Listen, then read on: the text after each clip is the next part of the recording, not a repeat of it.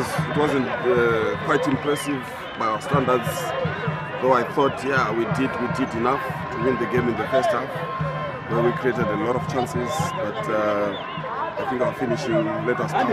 Um, uh, I think almost every player who plays up front got his chance. But we could not just manage to put that ball behind the back, back of the nets. But, but that is football. Look, we had gone for five games uh, on a winning streak, and um, dropping two points at home is, is quite uh, quite disappointing. But um, I'm encouraged uh, by what the boys did. They kept on fighting.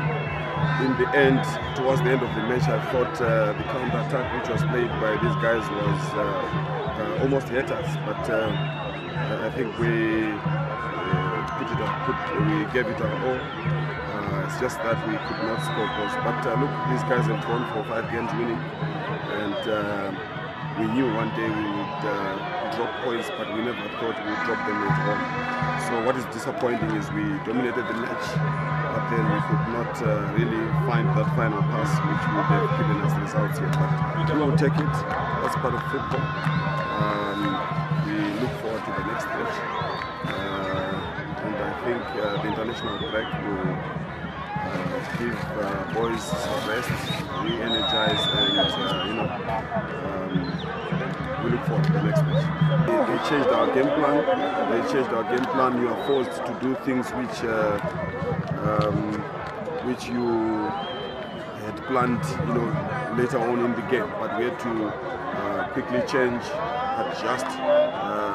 Uh, to the players we had on the bench, and that really had a negative um, impact on our game plan. But that, look, we have no excuses. We should have won this game. I thought we dominated the game, but uh, we couldn't just score, which is uh, part of the game. And we just have to take that point and move on. Yeah, it's. Look, I've said several times that it's still early days. We're enjoying being on, on top of the log. Um, but look, for us to be on top, we have to be very consistent, and uh, we want to collect uh, maximum points in each and every game we play. But uh, unfortunately, that, that uh, doesn't happen in football. Um, what is important is that we picked this point. Disappointing, um, picking a single point at home, but look, we just have to soldier on. We just have to keep working hard and